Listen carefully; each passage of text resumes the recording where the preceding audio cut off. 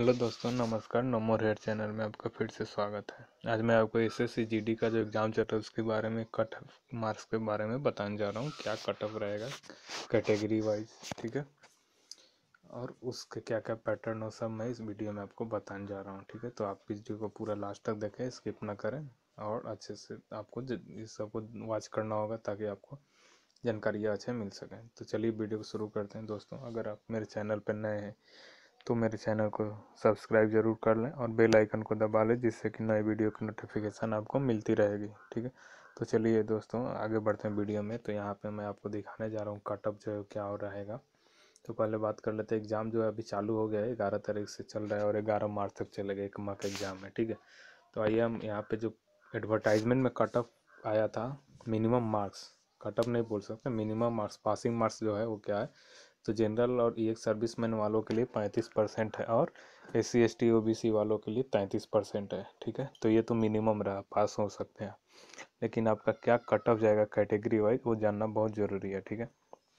तो मैं आपको कट ऑफ़ यहाँ पर दिखाने देता हूँ, जैसे कि आपको अंदाज़ा लग जाए। यहाँ पे मेरे स्क्रीन पे देख सकते हैं जो मैं दिखा रहा हूँ cut off expected cut off क्या है। तो जनरल वालों के पचहत्तर से अस्सी मार्क्स होने चाहिए। सौ मार्क्स का एग्ज़ाम है टोटल तो उसमें जनरल कैटेगरी के जो पचहत्तर से अस्सी ओबीसी वालों के लिए सत्तर से पचहत्तर तक होना ज़रूरी है। एससी के लिए साठ से सत्तर और एसटी के लिए पचपन से पैंसठ तक। ये कट ऑफ़ जो एक्सपेक्टेड करता है हो सकता है, इससे कम भी हो या ज़्यादा भी हो, क्योंकि हर साल और दिन प्रतिदिन कैंडिडेट की संख्या बढ़ती जा रही है, ठीक है? तो बहुत सारे कैंडिडेट फॉर्म भर रहे हैं, अच्छे से बहुत सारे लोग हैं।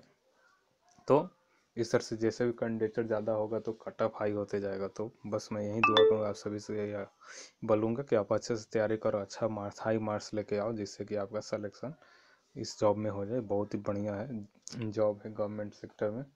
अभी जो फोर्स हैं, ठीक है? तो चलिए और कुछ जानकारी आगे लेते क्वेश्चंस के बारे में।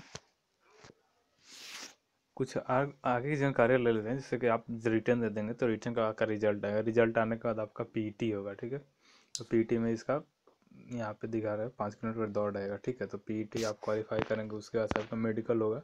मेडिकल क्वालिफाई करने पर रिज़ल्ट आएगा। रिज़ल्ट जो है वो मेरिट उसमें बनाया जाएगा मेरिट बेस्ड पे रिज़ल्ट आएगा उसके बाद ही आपका सिलेक्शन होगा। तो अभी तीन प्रोसीजर बाकी हैं उस सिलेक्शन के लिए। तो आप अच्छे से तैयारी करें और लगे रहें परिश्रम करते रहें ज़रूर आपको भगवान मदद करेगा और आपकी सिलेक्शन ज़रूर होगी। धन्यवाद दोस्तों।